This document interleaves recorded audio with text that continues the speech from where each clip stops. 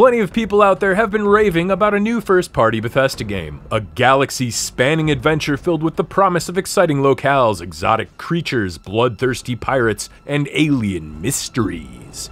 Their first original IP in 25 years Starfield. Every time a new Bethesda game looms towards a release window, a swirling tornado of hype and controversy surrounds it. Todd Howard pops his cute little elfin face onto a press conference to assure us that this game, this masterpiece, will be the next iconic, expansive, immersive, polished RPG experience to end all RPG experiences. And fans eagerly believe him, or at least give him the benefit of the doubt. All of this just works. It's not, I'm not kidding. And in a post Skyrim world, each game that followed has been a massive world sprinkled with bugs and half baked mechanics that left many players at least a little disappointed, or in some cases, flat out appalled. And yet, every time, Bethesda fans keep crawling back once the slightest spark of a new Elder Scrolls game or Fallout title lights up our social media feeds. It sounds like a toxic relationship, and maybe it is. I can say this because, well, I'm stuck in it too. Ever since the days of Daggerfall lit up my smooth, wrinkle-free child brain decades ago, I've spent hundreds of hours marching through the mushroom marshes of Morrowind, piercing the portals of Oblivion, and sifting through the smoldering ruins of Fallout. I've slain the countless ancient dragons of Skyrim, I've saved settlement after settlement at the request of Preston Garvey, I've even found the fun in Fallout 76. Yeah, I know. You could say this makes us fans, but there's a difference between a fan and a full blown zealot. While the diehards out there are quick to handwave any criticisms, we've witnessed the evolution of each of these games long enough to see them for what they are. They're vast, glorious messes, sprawling worlds that all share the same building blocks of design. Games that trip over their ambitions, often jumping towards the stars while they stumble over their untied shoelaces. These games are all flawed but fascinating, and each of them contain a certain X factor that only Bethesda can provide. It's the Bethesda recipe. Starfield is disappointing, and yet it's still compelling. This video is not just going to be another warrantless praise or brutal assassination of the game. It will not just be a highlight reel of its backwards design choices and annoying bugs, although there are more than a few. Is something amiss? It will not dwell on the various allegations of employee abuse at the company, suspicious review score discrepancies, or, I can't believe I have to say this, the eye roll inducing politicized outrage surrounding it. We'll be reviewing Starfield. Wait, we're reviewing Starfield? Aw oh, man, I thought we were reviewing Garfield. I played through so much lasagna cat action all for nothing. I wonder what happens when I suck this. Uh, no. Sorry to hear that. So Todd Howard didn't make Garfield? Contrary to popular belief, Todd Howard did not create Garfield. However, he is a direct model for John Arbuckle, but we'll be reviewing Starfield. More than that, we'll be trying to determine what makes Bethesda games so engaging for millions of fans, even when what they release is buggy, broken, underrealized, or unfinished. How much social capital does Todd Howard have left to spend? If Bethesda consistently breaks their ambitious promises, why do we keep forgiving them? Sometimes it doesn't just work. Let's see if we can find out. My name is Bawss Sawss. And I'm Rollin Kunz, and together we, We are the, are the two-headed, two-headed hero. hero. The story of Starfield actually begins long ago and far, far away, in the age of the before times. So buckle your space belts. A history lesson is coming in hot. History lesson.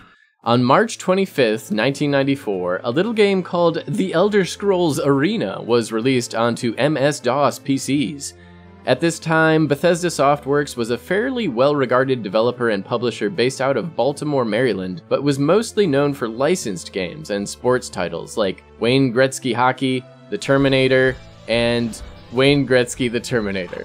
Arena was an ambitious change of pace for the studio, a huge map sprinkled with hundreds of procedurally generated quests, dungeons, and towns, real-time first-person combat, and a realistic day and night cycle.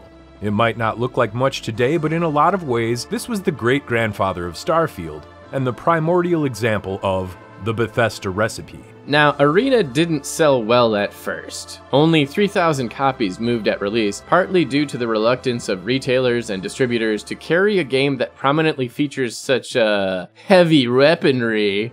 on its box art. Despite this, RPG starved gamers would slowly and surely discover the title by word of mouth alone.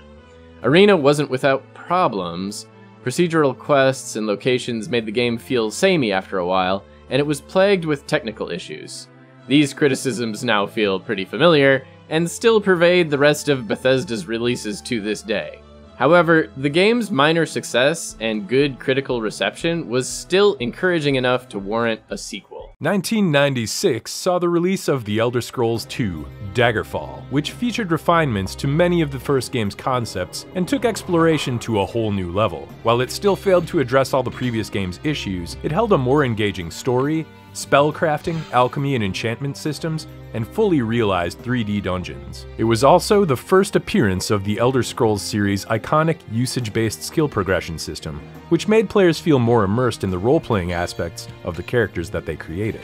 Word of mouth had created a high expectation for an Arena sequel, and Daggerfall moved 100,000 units within the first couple days of release, which might not have sounded like much compared to console mega hits from the same year like Super Mario 64 or Resident Evil, but it was absolutely staggering for a niche computer role playing game. Both Arena and Daggerfall built a substantial cult following in the passing years, and both have received source ports that hold up surprisingly well even today. Daggerfall also saw the departure of many of its lead designers, including Ted Peterson, Vijay Lakshman, and designer programmer Julian LeFay, who is considered by many to be the father of the Elder Scrolls. When this power trio went on to greener pastures, this was Lil Toddy Boy's time to shine. Yes, the man has become a meme in recent years, but it's also easy to forget that Todd Howard was instrumental in the company's rise to popularity. Who's laughing now?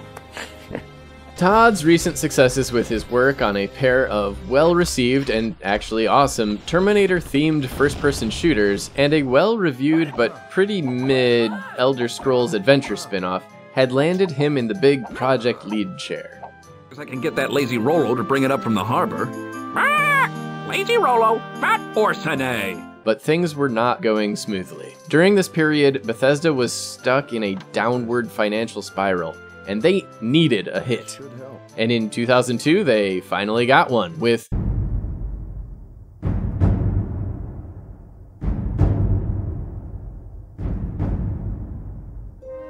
Morrowind was a true turning point for Bethesda as a company, for Todd Howard's rise to fame, and for the Elder Scrolls as a whole. Rather than the vast continent spanning setting of Daggerfall, Morrowind took place on Vvardenfell, the Black Isle, an original, fantastical setting off the coast of Morrowind that was filled with ancient mysteries and giant mushrooms. It had a wild, compelling main quest which involved the creation and destruction of the Dunmer gods, but also encouraged exploration and experimentation at every turn with its freeform design and lack of handholding. The step away from procedurally generated dungeons in favor of more handcrafted locations made Morrowind feel far more cohesive and alive than any prior game in the series.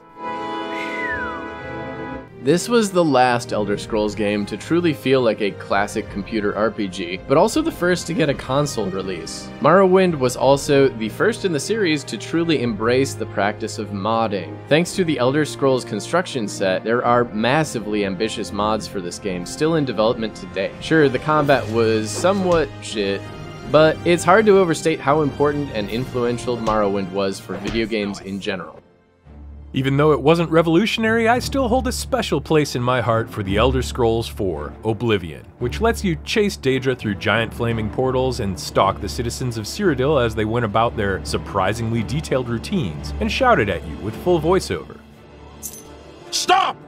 You violated the law! Plus, it had Patrick Stewart. Let me see your face. You are the one from my dreams. And the best goblins. However, the real test of the Bethesda recipe came in 2008 with the release of Fallout 3. There's no question that this game represented a massive departure from the classic isometric CRPGs from Black Isle. Still, Fallout 3 refined Bethesda's approach to storytelling and quest design significantly, while capturing the previous game's unique post apocalyptic vibe. It also proved that Bethesda's open world freeform designs could be molded to fit other settings besides high fantasy. And while Bethesda can't even claim to have created the greatest Fallout game, Nobody's dick's that long. Not even Long Dick Johnson, and he had a fucking long dick. thus the name. Fallout 3 was a major stepping stone nonetheless. After the triumph of Fallout 3, its codebase was forked into the Creation Engine, which formed the basis of Bethesda's most successful game to date. Pop quiz What's the most successful Bethesda game? Gotta be Skyrim, since that game was released like a hundred different times, right? Nope. That honor actually goes to Fallout Shelter, and it's not even close. But as far as Bethesda RPGs go, Skyrim soared high above all its predecessors during its 2011 release window. If you somehow haven't played this dragon slaying adventure, well, good news! It's been ported to pretty much every conceivable platform. Skyrim's continued popularity caused other studios to take notice and contributed to the rise of open world games in the AAA space. The new Creation Engine was able to take advantage of visual improvements, better physics, and Radiant AI. But Skyrim also took the first step back from handcrafted quest content with its Radiant Quest system. Could you deliver the ashes to Runil, the priest of Arkay? Until next time. Hoost is responsible for the cemetery here in Falkreath. I take care of the shrine. Ah, Barrett's ashes.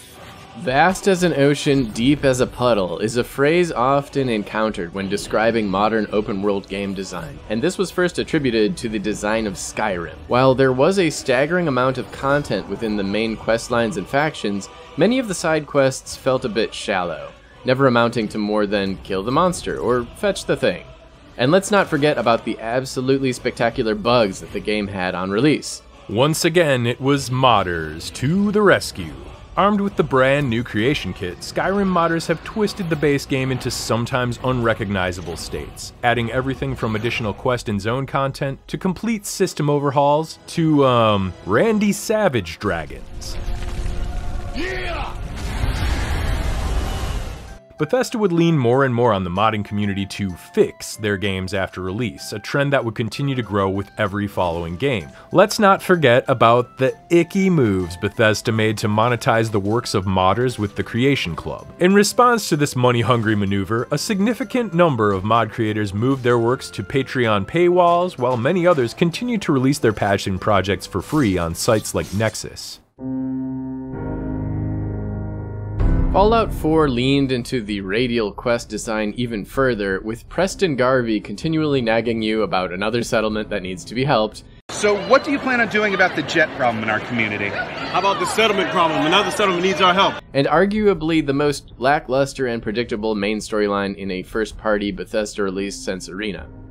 It did have Jetpack though. Although later DLC did wonders to add some interesting choices and player agency, the nebulous dialogue system and lack of impactful choices made Fallout 4 a somewhat underwhelming role playing experience. The game still had its strengths improved combat, the ability to construct your own outposts. I did all of them. Why did I do this? Deeper crafting mechanics and weapon tuning, and awesome customizable power armor. With Jetpack, with Jetpack. But the focus of Fallout 4 was clear cooler toys over deeper experiences. And this approach would backfire with. Fallout 76. The promise of a multiplayer Bethesda game was exciting, but Fallout 76 was a Vault-Tec experiment gone horribly wrong. Fallout 76 at launch was a hollow game with none of the elements that made the prior Fallout titles great. Quests were incredibly basic and all delivered via audio log. Gameplay was broken and buggy, and server problems compounded all the issues that existed in the engine since Skyrim's release. A card based progression system was put into place that seemed like a gigantic step backward, and theft was removed almost entirely. Well, at least in game theft was. Bethesda's behaviors around the game's monetization, broken pre order promises, and the shallow games as a service approach to updates, which mostly featured cosmetic items for the cash shop or grindy public events, didn't really do much to help its reception. Years later, after the Wastelander update finally added NPCs, holy shit, NPCs in a role playing game, I finally got around to giving Fallout 76 a proper chance. Even with another 18 months of cooking, it still felt pretty underbaked. The same old creation engine bugs resurface like a hungry mirelurk, and the ever present cash shop pops its ugly head up from time to time. But joining up with a buddy to explore and loot your way through another giant Fallout map and stumbling upon the vast creations of other players held my attention for far longer than I expected it would. Unfortunately, this was still a really small concession after breaking the trust and crushing the hopes of the vast majority of Fallout fans. It would still take something greater to pull Bethesda back out of the black hole they'd created for themselves with Fallout 76. And Starfield promised to be the pinnacle of the Bethesda recipe. It would feature the meaningful NPC interactions of Oblivion. It would have a bigger focus on dynamically generated quests, a throwback to Bethesda's RPG roots in Arena and Daggerfall, the crafting, scavenging, weapon tuning, and outpost construction of Fallout 4, the jumpomancy of Morrowind, the vast exploration of Skyrim. But instead of exploring a single fantasy realm, Starfield takes place across dozens of star systems, thousands of planets. Players would get to enjoy fully realized space combat and ship customization. All of this would be powered by the shiny new Creation 2 engine. But do all these ingredients add up to a better game? Well, I really want to know if it does, but I'm still bummed that I played the wrong game. I hear you, buddy. Don't worry, I've got just the thing to cheer you up. It's time to play a little game I like to call Starfield or Garfield. I'm gonna ask a single question, and you have 10 seconds to decide whether it's something featured in Starfield or if this is prominently displayed in Garfield. Win all three, and you get a shot at the grand prize. Are you ready? I'm ready. Wait, no. Uh. Round one. Which one features the use of ground vehicles? Starfield or Garfield? You have 10 seconds to respond. My vast Garfield knowledge, I know that there's a Garfield kart racing game, so it's gotta be Garfield. Final answer. Ah, okay, well, sorry to say that Technically, this is a trick question because Starfield and Garfield feature the use of ground vehicles. John can be seen driving a car in many instances, such as in Garfield on the Town, 1983, an animated episode where Garfield has to be taken to the vet. And while Starfield does not have any drivable cars, the city of New Atlantis prominently features a commuter train. But Garfield has drivable cars. However, Garfield does have the advantage here, having an entire kart racer. Give me that point. I want the grand prize. As Starfield opens, some white text tells us it's the year 2330 before fading into an elevator ride. The player is tossed into the dusty space boots of a humble mine worker, just another poor schlub that has to laser blast rocks on a forsaken moon for the pleasure of a paycheck. And right away, we're following some slow walking NPCs. Ah, it's one of those tutorials. Good morning, Mr. Freeman. Looks like you're running late. A short hike later, and you're chiseling some weird modern sculpture out of a cave full of mysterious green crystals and suspiciously floating rocks. A single touch of the cave art sends your brain through the ending sequence of 2001 A Space Odyssey.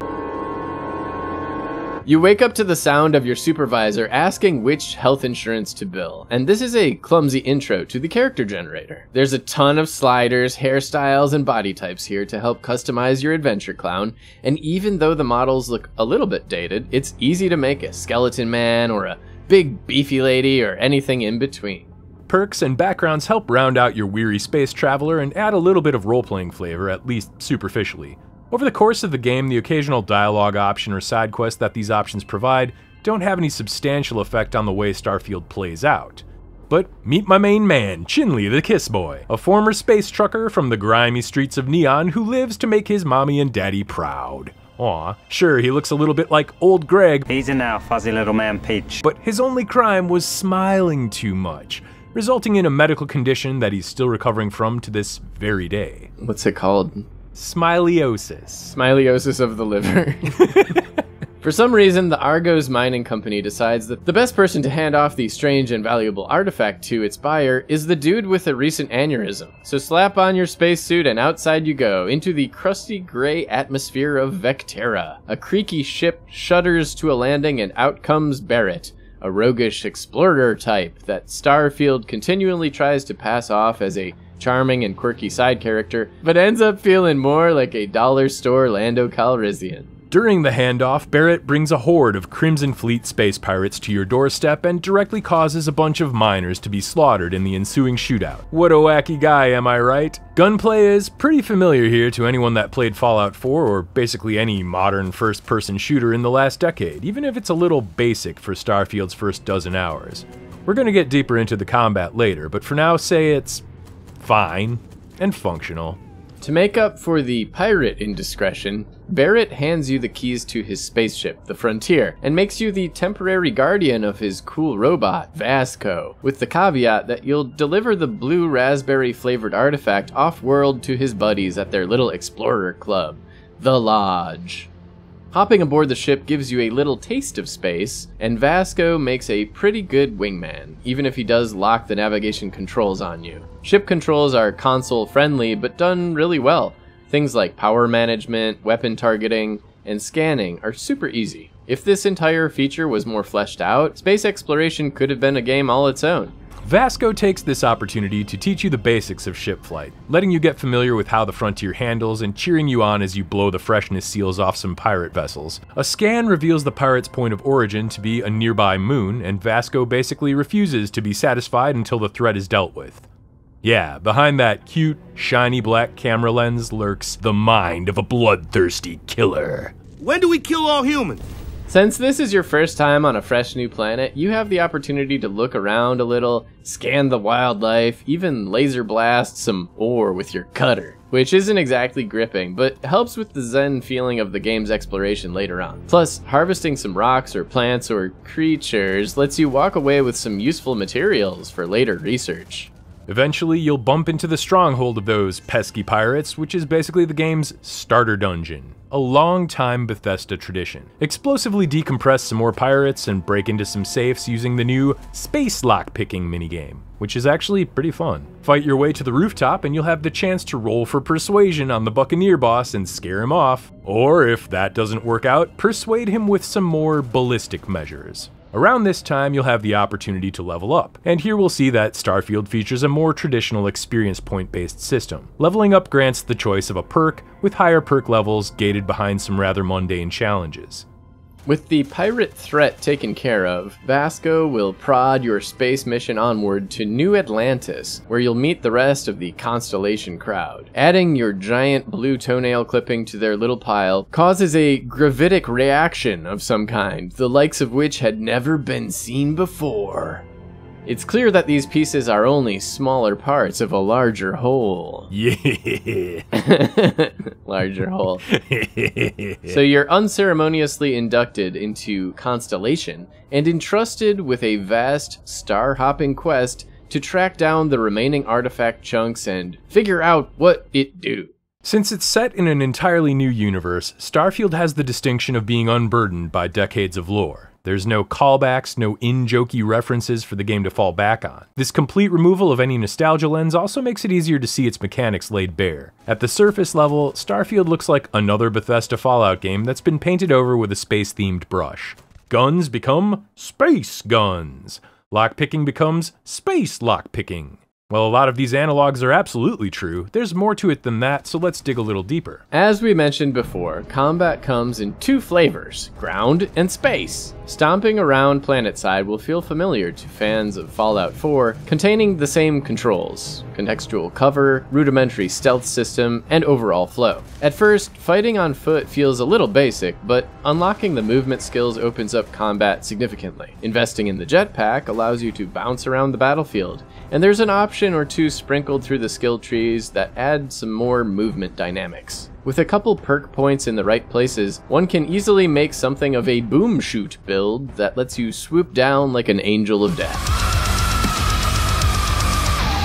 This stuff really feels like it should have been part of the player's moveset from the beginning, and it's kinda puzzling to me why Bethesda decided to hide the fun of the combat loop several hours in, but that doesn't mean it's not fun. There's a few areas that add some cool twists to the rest of the shoot and loot formula, like encounters on low-gravity planets, or zero-G gunfights in space stations. Fights never get too difficult, and you can usually spam heal your way out of danger, at least on the default difficulty level. If a battle's really not going your way, you can also fall back on the signature move from every Bethesda game. The Save Scum! Starfield features a ton of weapons that all look and work differently, and designs strike a great balance between form and function. Energy weapons and the grenade launcher feel particularly good to use. It's a shame that the ballistic guns make the sounds of microwaved popcorn,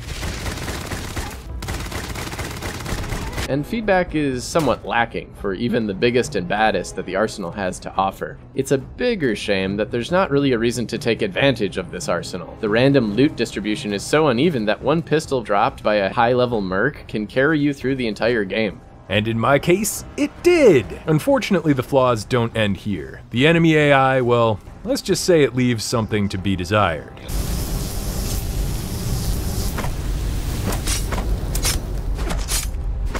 The game's various pirates and spacers all use the same tricks, with their only real difference being the outfits they wear and the weapons they wield, so the first hour of the game feels much the same as the 60th. Human enemies are pretty spongy, which seems to kind of go against the whole hard sci-fi sealed spacesuit vibe that the game's going for. You'd think two or three taps from a big beefy gun would be enough to vent some feisty spacers, but this is rarely the case. Combat against the variety of hostile space creatures feels much the same and suffers similar problems. Players have noticed. There's already mods out there to decrease the time to kill, improve stealth, and make the enemies less moronic.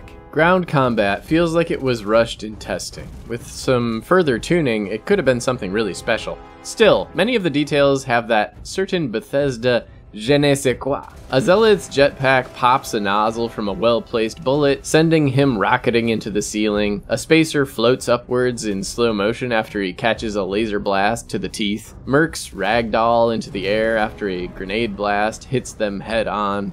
And when the smoke clears after a bloody struggle, there's the cathartic satisfaction of digging through the mess to see what useful trinkets your opponents left behind. This all plays into the Bethesda power fantasy that fans have come to know so well, even if those ragdolls get stuck in a railing from time to time. When you're not flattening the surfaces of exciting new planets with your stompy space boots, you're traveling through the void at insane speeds with your very own spacecraft. Well, sort of insane speeds. Space combat's actually really well done. There's intuitive controls and generous auto-aiming that makes blasting away at pirates into mindless fun. It's also possible to cut power to your systems and attempt to go dark to evade enemy sensors, or disable enemy engines for boarding maneuvers, but there's just not much of a point in doing this. Starfield takes a lot of cues from the arcade style model of No Man's Sky or Star Wars Squadrons here, adding just enough complexity with its systems management angle to feel a little more involved. But with only a handful of weapon types to play around with and enemies to engage, this entire aspect of Starfield is disappointingly shallow. The biggest problem with spaceflight is, well, there's not a whole lot to do out in the big black void. The occasional asteroid field or derelict ship might pop up on your scopes, but it's called space for a reason. Ain't much out there. Not to say there aren't high points. For example, one of my favorite encounters took place on a zero G leisure station shortly after a heist attempt went horribly wrong. The occasional distress calls or silly interactions call out through the big empty. I have a really important question for you. Do you know the way to Uranus? I sure hope so. It's right behind you. But most of the time, trekking through the stars feels lacking. The promise of exploring the galaxy brings to mind wild images of blasting off from a space station, passing through the rings of Saturn, looping back to burn through the atmosphere of Neptune at ludicrous speeds. What we ended up with is more of a fast travel system with extra steps. With the exception of one blockade section, there's no real reason to upgrade or replace the basic ship Barrett tosses you at the beginning of the game, because you'll barely be seeing the cockpit unless you go out of your way to do so. And that's really a shame. I wanted to like this more, and with some added depth, planet hopping in Starfield could have been just as fun as other popular spaceflight games like No Man's Sky or Elite Dangerous. Games like those make traveling within a star system interesting by having three speeds a slow speed to travel locally, a mid speed to cruise between planets or inside upper atmospheres, and a warp speed for heading to a new system. Starfield only has two speeds slow and menu. Want to take off? That's a menu. Want to land? That's a menu. Want to travel to another star system? That's a menu. This game loves a menu. It's too bad that so many are terribly designed, but we'll come back to that. Galaxy exploration gets a real Mass Effect vibe with this many menus. When placed side by side, it's uncannily similar. This doesn't seem like the best direction for an immersive experience. But on the plus side, you can scan planets and moons from orbit and plop your little ship down next to whatever vital landmarks you find. Whether there's anything worth checking out is another story entirely. Planetary exploration at least offers some variety with different biomes. Some of the boreal forests and swampy jungles actually look pretty cool, and many contain a few plants and animals. Starfield actually pulls way, way back to Bethesda's ancient RPGs, Arena and Daggerfall, for this aspect of the game. Points of interest are procedurally generated, like in those two games, but according to interviews with the developers, this actually happens dynamically as you explore. It can feel a little disconcerting when they pop in out of nowhere after walking a few hundred meters, but helps perpetuate the illusion of vast worlds full of forgotten outposts and caves. Even so, after you've seen the third or fourth base with the exact same layout, same loot crates, same enemy placements, and the same goddamn Dickens novels on the shelves, the illusion starts to break down a little. What is it with all the Dickens novels in Starfield? Is it a clumsy attempt to allude to the evils of capitalism? Seems a little ironic coming from the source. Or maybe this is a hidden cry for help from the Bethesda writers. Maybe they're in there, in the Bethesda mines, in a little Bethesda cube, and they're like, please, sir, can I have some more? Some more. Some more, um, health insurance and other things and less crunch time, please.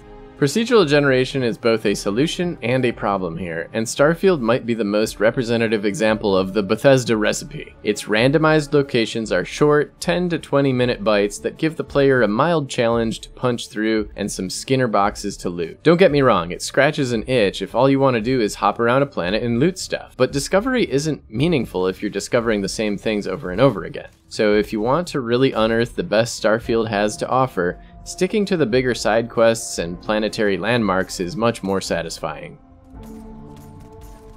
Hooey! That was quite the journey. I think we need a little break from moving on. Maybe uh, go outside and touch some cats. I got just the thing for you. It's time for Starfield or Garfield. Are you ready to play round two? I've been doing all of my research. All right, well, let's get going here. Round two. Which one features a character trapped on Earth's moon? Starfield or Garfield? You have 10 seconds. Go. I only get 10 seconds. I mean, the obvious choice would be Starfield, but I don't even know. No, it's Garfield. It's gotta be Garfield. It's gotta be Garfield. That's time. Okay. So, Garfield, is that your final selection? Yeah. You are correct. The answer is Garfield. The 1990 episode Astro Cat tells the story of Garfield's great uncle Buchanan, the first cat in space who traveled to the moon in 1958. The episode ends with Buchanan being trapped on the moon for decades, awaiting his pizza delivery until astronauts from a much later moon mission stumble across him. And while you can still find pirates or spacers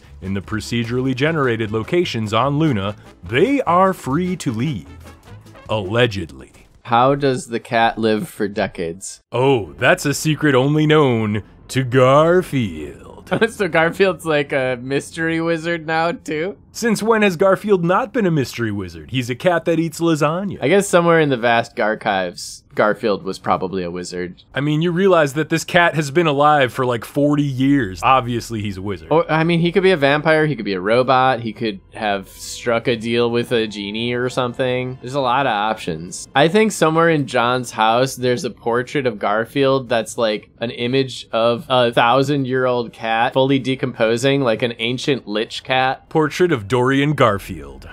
So, what else is there to do in Starfield? Well, you can research and craft stuff, you can pimp your space ride, and you can build your own little outposts. I guess these fall under the more cozy side of the experience, but all three are held back by poor interfaces and high crafting material requirements. Research is done by cramming various mineral and plant components into a terminal to unlock new crafting recipes, like a reverse vending machine that you fill with seaweed. Simple enough. Crafting the weapon tuning is handled much the same way, with new tiers being gated behind specific perks. That's fine. The biggest problem here is the absolutely stupid amount of inventory management required to hit these material requirements.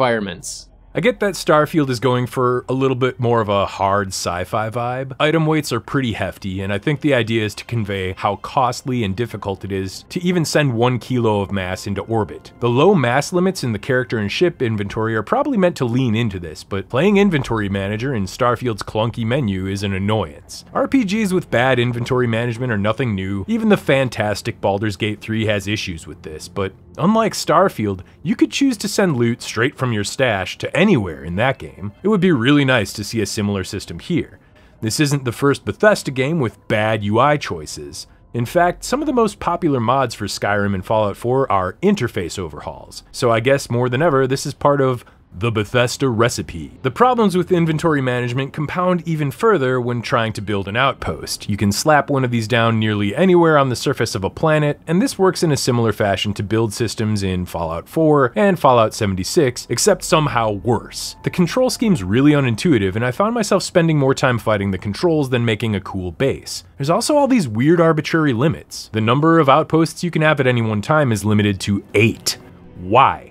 This is a single player game. No Man's Sky lets you have 400 bases in a save file. Arbitrary limits don't stop here. Outpost modules are gated behind level progression, so you can't build a lot of the cool stuff until you grind out a decent amount of perk points. And the container limits make no sense.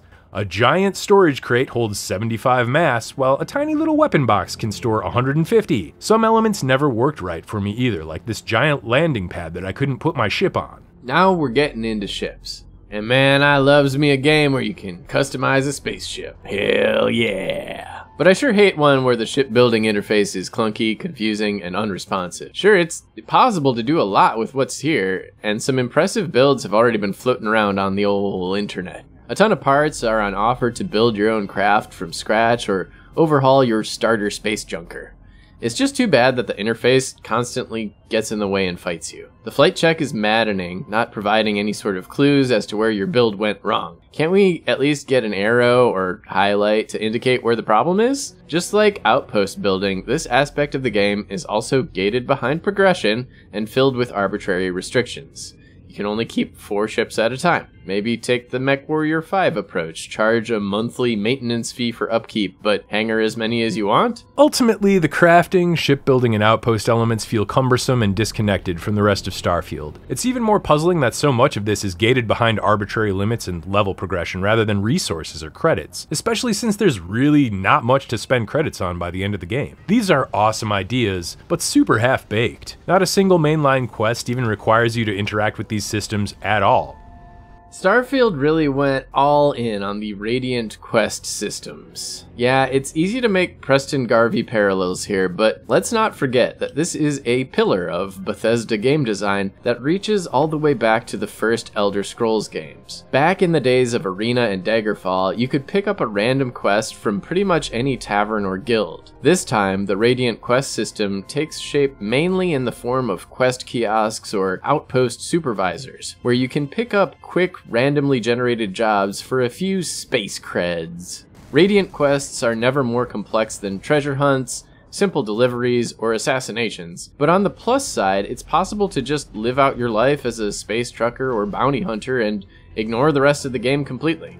And that's probably the closest that it comes to actual role playing, even though it has a whole main quest line. Anyway, there's a number of small side quest chains sprinkled throughout the systems, and these are just about as dull as Radiant quests, often amounting to simple fetch quests with slightly more voice acting and better rewards. The larger side quests offer more compelling content with a couple factions to pursue. There's also some really cute diversions related to your character background choices. For example, the Kid Stuff perk has a side quest chain where you have to visit your parents, which is adorable and has a pretty decent payoff at the end. Companion quests fare slightly better than average, but their pacing is slowly parceled out over time, so it's pretty easy to lose the storytelling threads. Overall, the writing is weak.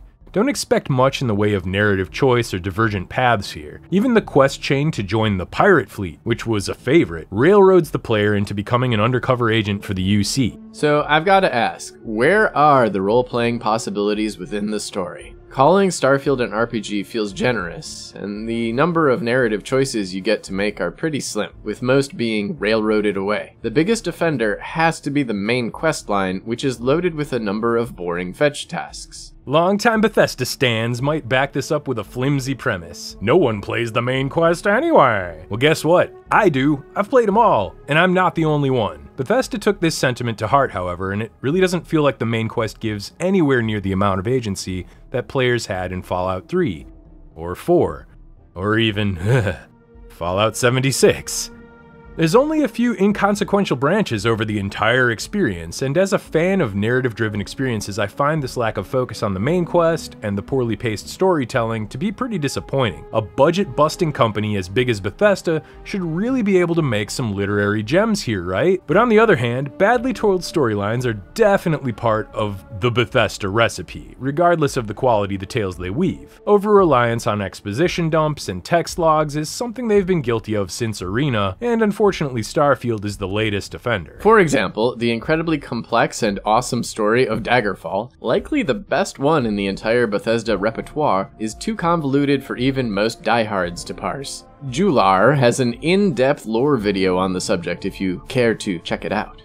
So, if you were about to guess that this is spoiler territory, you'd be right. Major main quest spoilers lie ahead, so if you want to avoid the spoiler skeleton, head to the next chapter. Yeah, it's the spoiler skeleton. Let's review real quick. Space mining, big blue alien toenail clipping, life changing aneurysm, some jackass gives you the keys to his spaceship and robot, space pirates, constellation, massive cosmic mystery. Good, all caught up. From here, the storyline becomes all about those artifacts, and the first couple legs of your journey will take you along to some of the more interesting points in the galaxy, while some of your constellation buddies tag alongside you. There's at least the attempt at some fun moments here during your search for the artifacts a rescue mission, a bank robbery gone wrong, some shady corporate dealings, even a mission aboard a vast pirate freighter that borderlines on some immersive sim elements, but the role-playing depth on display is barely surface level. Once you add enough big blue alien toenail clippings to the magic floating hula hoop, this Russian stereotype clues you in on the location of a hidden temple. Stepping through the doors of this temple, you'll notice three things.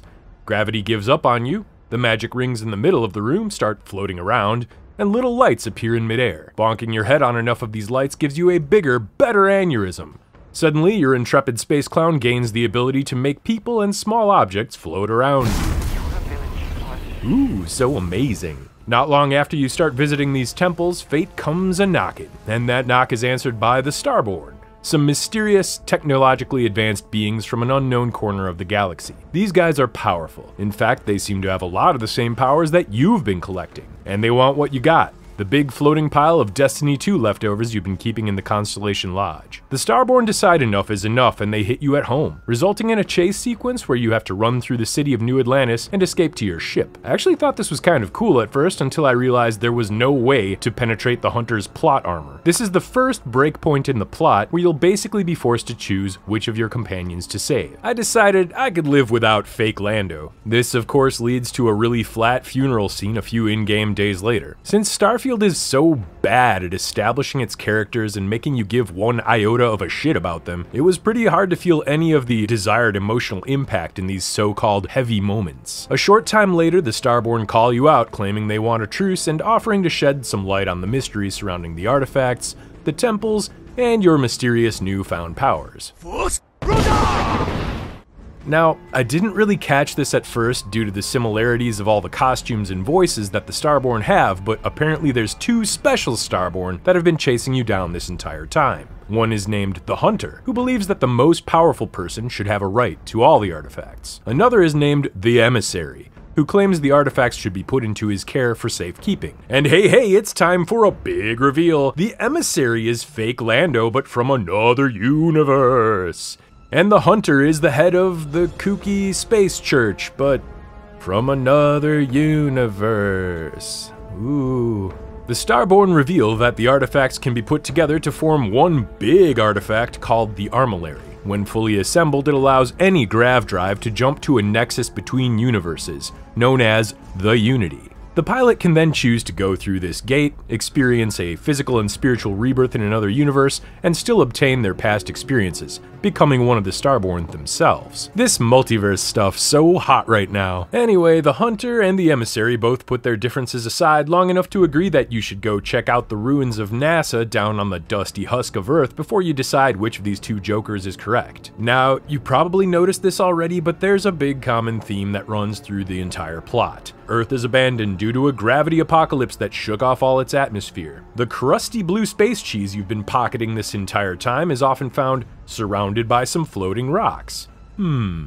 The first power you liberate from an ancient temple lets you alter gravity. The ships all have long-range engines called grav drives. You can see where I'm going with this. It comes as no real big surprise that a secret NASA experiment involving one of these very artifacts was the real reason that Earth's atmosphere spun off into the cosmos in the year 2050. The abandoned NASA section is actually one of the best parts of the main quest, and it only made me wish there was more content out there like it. There's a slow build with some well-placed audio logs that breadcrumb the storyline. Yeah, I know audio log storytelling sucks, but here it actually worked pretty well. And there's almost zero combat until you finally uncover the original source of all Earth's troubles. At this point, a big pile of starborn warp in out of nowhere to make your escape complicated, so back to the surface you go, guns ablazing.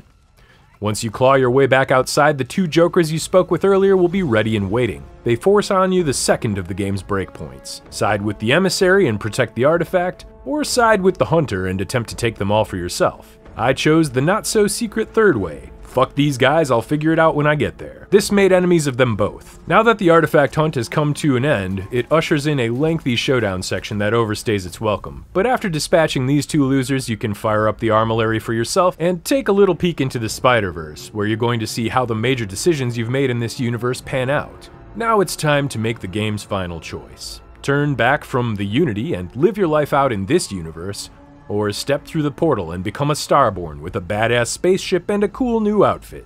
So yeah, I had some problems with the main plot, even though I felt like its final hours did redeem it a little bit. The pacing is awful, and the premise is completely unoriginal. Tell me if this sounds familiar to you at all. A random ordinary grunt touches an alien artifact, has a strange ominous vision, and gets swept up in a struggle against vastly superior beings. I guess if you're gonna rip off a sci-fi storyline, it might as well be one of the best. Many of the plot beats are just laughably stupid. Barrett tosses you the keys to his ride after meeting you for all of 10 seconds. This entire secret society of explorers deems you worthy of membership simply because you played delivery boy. The chief of the Freestar Rangers pulls you off the street to defuse a hostage situation without knowing a single thing about you or your qualifications. These plot holes are black holes, sucking in the rest of Starfield's believability at every turn. The best RPGs excel at creating a world that feels lived in. One where it feels like the wheels of day to day life will continue to turn whether the player interferes or not. Starfield continually breaks immersion time and time again by creating a universe that seems to exist only for the player. When you take a rest, you'll find them standing in the exact same place hours later, as though they were watching you sleep, watching over you like a guardian angel. When the entire world feels like a stage set, propped up for only the player's benefit, it's harder to keep the suspension of disbelief intact. That's not saying that the game's presentation is without merit. There's at least some effort to marry the gameplay mechanics with the lore. The enhanced shops provide in-game reasoning to change your character's appearance. Kiosks pass out jobs on a first-come, first-served basis, playing into the whole gig economy vibe of Starfield's galaxy. And the shady trade authority could not care less about the legality of whatever you might be selling. The vision of a post war future where the stars are dotted with thriving space colonies, filled with bulky space suited people going about their jobs and living under the looming threat of dangerous pirates and scavengers is actually a pretty cool. Starfield's visual design pulls a lot of influence from the likes of The Expanse, or Firefly, or Battlestar Galactica. No, not that one. This one. Space looks particularly great. There are massive asteroid fields, debris fields from battles long past, the burning blue of engine exhaust slicing through the void over a backdrop of massive planets and never ending stars. Planet side, outdoor environments come across as a bit static and lifeless, experiencing some loss in texture quality. But interiors look crisp and richly detailed. Even though it looks like Bethesda still can't master working mirrors, Creation Engine 2 can be pretty gorgeous at times. I could stroll through wrecked space stations, undercity dungeons, and scummy commercial districts all day long and not get sick of it. The most glaring issue is with the character models, which look somewhat dated and out of place. Conversations all suffer from Oblivion Syndrome, which feels incredibly stiff, especially after playing through the beautifully motion captured encounters of Baldur's Gate 3. Some of these little talks feel like the stuff of nightmares. Characters have some dead eyed puppet stares and gaping black maws that open and flap around when they talk. Okay then. Yeah. So there's this one NPC face that keeps following me through the colonies. I see them on like every populated planet. Its eyes piercing into the depths of my being with a soulless, hungry gaze. The hair, the clothes, the body might change, but that face will be burned into my dreams forever. A lot of the randomly generated NPCs tend to stare, burning holes in you with their unblinking eyeballs. The effect is unnerving, and there's already a mod for that. It's no wonder some players have jokingly referred to the game as Stare Field. But more than that, NPCs don't even bother to react when you wave a gun at them or jump on their heads. Nothing short of a direct physical confrontation will cause any sort of response. This just reinforces the soulless feeling that all the major colonies have. On the audio side, it's a little underwhelming. Nothing in this game's OST really stands out as anything more than background padding, and not a single track is memorable. The sound design might be competent, but the popcorn noises that pass for gunfire only make the enemy sponginess more noticeable. Voice acting is competent, but there's a noticeable lack of urgency in the delivery. You've got great talent on display here. Elias Tufexis brings his unmistakable voice to Sam Coe. I am not a scientist, not in the least. Armin Shimerman takes on the role of space tycoon Walter Stroud. I'm very interested in what Noel can learn from the scans. Cissy Jones plays multiple roles, including the conflicted cultist spy Andreja. Small, reckless. Interesting. This flat delivery across nearly all the performances points to an issue with the direction, or more likely, the script. It's not a great sign when the robot companion is the most believable and likable one out of the whole group. This is a difficult question to parse. I do not experience enjoyment. Overall, Starfield's presentation feels uneven. Between the disparate interiors and exteriors, the outdated looking character models, the lackluster sound effects, and the puzzlingly anemic voice acting direction, the entire package is a little underwhelming. So, it's about that time, isn't it? I smell a cat coming on. Gross. I hope you wash your hands. Oh, that time. Oh, yeah, that time. That time. It's time for the final round of Starfield or Garfield. Here's what's riding on this final question. Let's take a look at these prizes. And you, yes, you, dear viewers, can get in on these fabulous prizes at home. You could win a subscription to our fabulous YouTube channel. Imagine piping hot videos sent directly into your feed whenever you open the phone app or desktop site. Or you could become one of our fine supporters. Help us pay for our two headed specialty diet of lasagna by dropping a couple dollars on our Patreon, becoming a channel member, or tipping us on Ko fi. Final round. Are you ready? Here's the question. You have 10 seconds to respond. Which one prominently features the use of preferred pronouns? Starfield or Garfield? Uh, I, I get I Starfield, right? Ooh, I'm sorry. The answer is actually Garfield. Okay, tell me why. In a 2014 interview with Mental Floss, Garfield creator Jim Davis stated the following Garfield is very universal. By virtue of being a cat, really, he's not really male or female or any particular race or nationality, young or old. It gives me a lot more latitude for the humor for the situations. Davis explained that although Garfield is neither male nor female, he does use male pronouns. So collectively, we've been using Garfield's pronouns for literal decades. Love that thing. Yeah. You can choose your pronouns at character creation in Starfield to the ire of screaming baby men everywhere.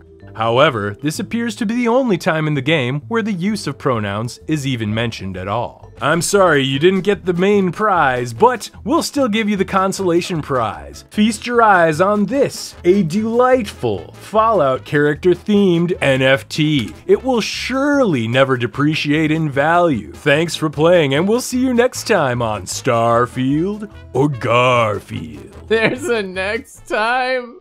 Over the course of this video, we've explored all the components that make up the Bethesda recipe. These games all feature the seasoned combination of a first-person perspective, a huge scope, procedural elements, a living day-night cycle, crafting systems, mountains of Skinnerbox-style loot, and a vast setting to get lost in. They also feature a long tradition of spectacular bugs and technical issues, which goes hand in hand with a history of mod friendliness to band aid these problems. These elements might not always work together perfectly, but they make up a formula that many have enjoyed and few have replicated.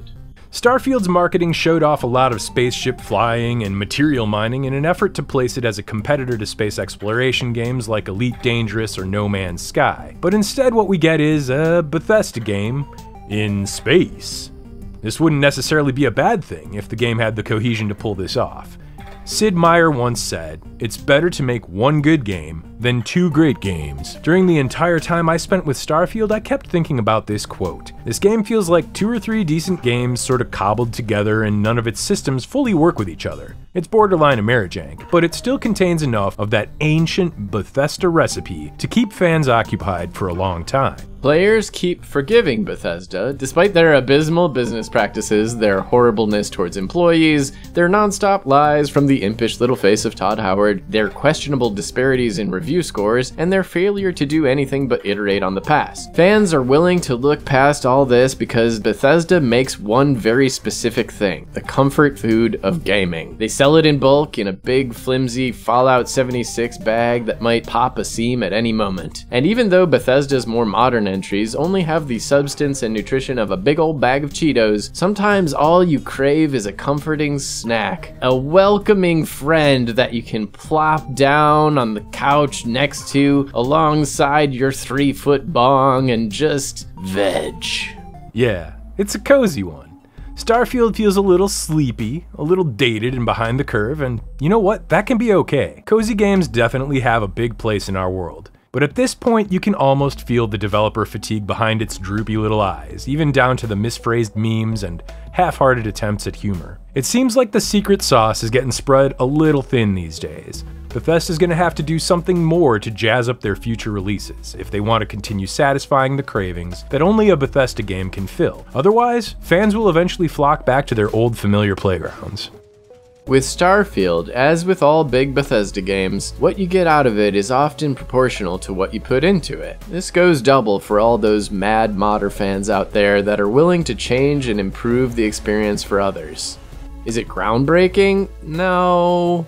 Is it the best effort from Bethesda so far? Far from it. But is it a decent entry point into that niche brand of open world games that only Bethesda makes? Sure. Thanks for walking this journey with us, and if you've thought of something we might have overlooked about the Bethesda recipe, let us know down in the comments or on social media. Hey, while we were in the process of making this video, it looks like our channel hit 2,000 subs. So we want to say thank you for all the time you spent with Two-Headed Hero. We hope you stick around because we have a lot more ideas to cover. Thanks again for being part of our little journey. We'll see you on the next Two-Headed Hero. I hope you bring lots of spaghetti. I'm scared.